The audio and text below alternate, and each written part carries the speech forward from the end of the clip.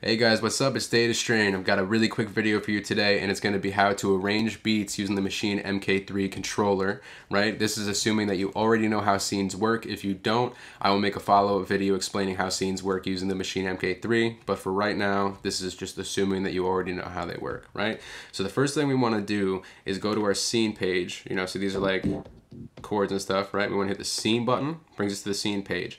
In here, this will have all the different scenes that you've made you know, so I have an intro, an intro with drums,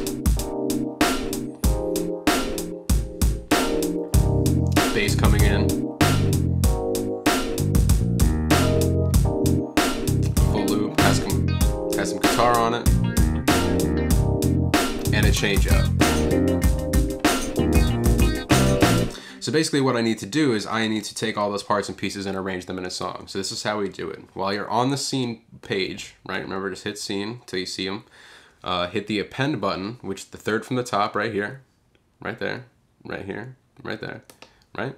And now uh, you want to press the scenes that you have in the order you want them played, and they'll be displayed right here, right? So intro, intro with drums, intro with bass, full loop, and then the change up. So I have five total scenes. But now if you hit the restart button, it just plays from the last selected scene and we don't want that. So what you need to do is hit shift and, and section, right? Not selection, section.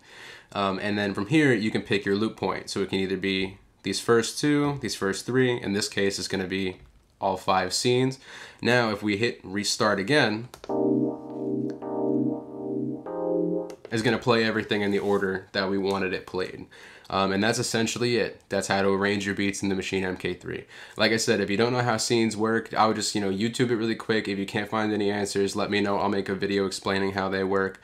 Um, but, you know, this should get you going with making full-blown arrangements with the controller. So, hope you learned something. I hope you had a good time. If you're new to the channel, please consider subscribing. I come up with new videos all the time and it makes, uh, you know, I use Maschine. I also use Push 2 and I use the Launchpad Pro.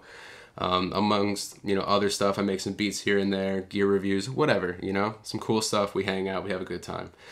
Um, I also want to make a special mention of another YouTuber named Boom Bap Art. He gave me a shout out um, earlier this month, and I just gotta say, dude, thank you so much. It means so much to me. I'll leave a link to his channel in the description. Um, he makes some crazy good boom bap beats. Obviously, his name is Boom Bap Art. Uh, he's super talented, super cool guy. Um, and again, man, thank you so much. I appreciate the love. Um, so I will catch you guys later. I hope you have, uh, you know, I hope you learned something here. Um, you know, have fun, keep on creating, and I'll check you next time.